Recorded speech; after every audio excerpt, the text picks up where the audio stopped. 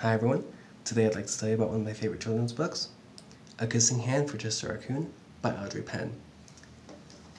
This book tells the story of Chester, who doesn't want to go to school because he doesn't want to leave his mom. So he tells his mom that he'll stay at home, he'll play with his toys, he'll play with his friends, he won't make too much noise. So his mom tells him a secret, that's a family secret, and it's really, really sweet and really, really adorable. So, what's that secret? Read the book at your local library to find out.